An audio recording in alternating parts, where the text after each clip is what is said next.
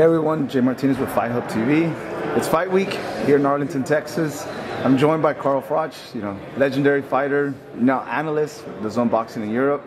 Uh, first of all, you know, how is it being here in Arlington, Texas? You know, big difference, you know, Europe being here, in the United States. How is it so far? Yeah, I like the States. I've been here a few times. My 1st fight, um, the first time I came over to the States actually was, other than being here like back in 1998 or 99 for a New Year's Eve party that never happened because it rained in it rained in um, Hollywood.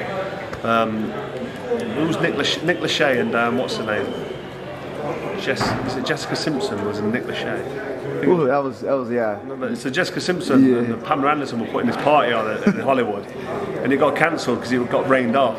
So we was all the way out in Hollywood for like two weeks on the build with a holiday, and then for the New Year's, and the New Year's Eve got finished. So that was my first visit to America. Yeah, And I, I came back and trained with Howard Eastman for the Hopkins fight. I was in Fort Lauderdale for six weeks, and then I came back and fought at the Avalon Club in Hollywood against um, Henry Porras. Um, quite a big lump of a man. yeah. I broke my hand on his bloody chin in round two. Um, and then obviously I'd done the Super Six. So Yeah, so it's no secret that you know you've been in the ring, you have a lot of experience, obviously calling fights. You've been, uh, you know, been saying here and there that Canelo will be the winner come Saturday night, and you know he's favored. Obviously, Billy Joe Saunders is the underdog. You know, what is the characteristics that Canelo poses? You know, for you choosing him to win on Saturday night? he's just a he's almost like the ultimate fighting machine in terms of if you say what is he? Is he a boxer? Is he a fighter? Is he a big puncher? Which one is he? He's all of them. He can box and move. His head movement's amazing. He's got a great jab. He's not really quick on his feet, but he knows how to move himself around the ring really effectively. Put himself in the positions where he can cut the ring off and he can get himself out of harm's way. He's got fast hands, great head movement. His defence is amazing, and he's a big puncher. So many boxers ticked in the style of Canelo Alvarez um, that make him so dangerous. Billy Joe Saunders.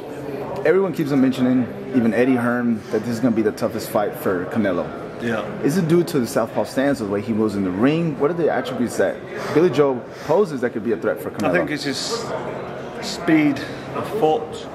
He's light on his feet and quite quick on his feet, so he gets himself out of trouble, gets himself out of harm's way. He's got fast hands and he's got good boxing ability. He was a top amateur. Um, so, you know, that speed and movement and counter punching ability in combination, that could possess, possess and pose problems for Canelo. You know, from a southpaw stance. Seen, seen Canelo Alvarez, all right, he's unbeaten in five fights against southpaws from the stat pack I'm reading. I think five or six southpaws he's, he's beaten them. But the Lara fight, he, he looked awkward for him. He struggled a little bit. And um, you know, the fact that Billy Joe Saunders is a slick southpaw with fast hands, I think there's, there's your major problem, or, or your main problem. Not a major problem, because I don't think it'll be a major problem for Canelo.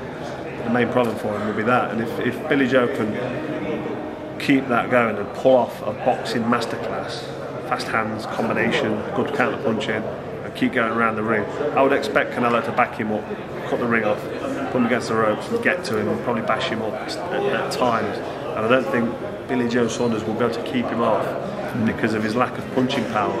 And I'm saying the lack of punching power based just purely on his knockout ratio.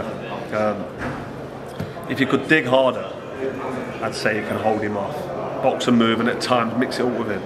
I don't think he can. He's literally got box and move and kind of run and hide and keep out of the way. And Canelo, I don't think is going to allow it to happen. he's in his prime. We all know that Canelo's in his prime right now. Obviously, you know he's going to be one of the toughest fighters to be beat. If once he becomes victorious on Saturday, who do you see the, who could also be the biggest threat for Canelo? You know, you have Benavidez, you have Caleb Plant, you have the Charlo. Yeah. I don't think anyone, to be honest. There's none of them. I mean, Charlo and they're all good fighters.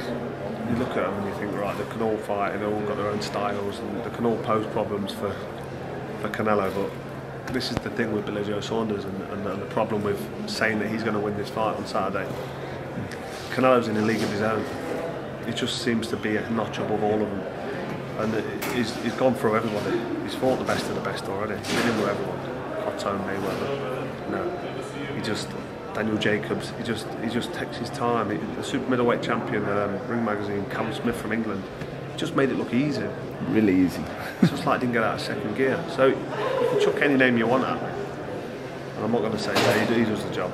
Thank you so much for watching this video and make sure to subscribe for more videos of your favorite fighters over here on Fight Hub TV and give us a follow online as well at Fight Hub TV on Twitter and on Instagram. We appreciate it, guys.